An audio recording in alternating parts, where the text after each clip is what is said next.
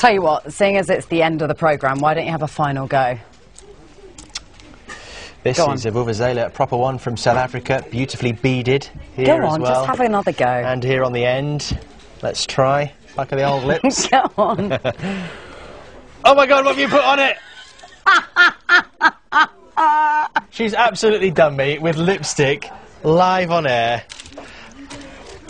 I don't think I'll ever live that down, you horror. oh, God, Let's see if I can do it anyway. You go.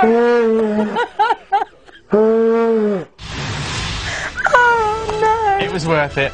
Uh, when we come back, we'll hear from Wayne Rooney.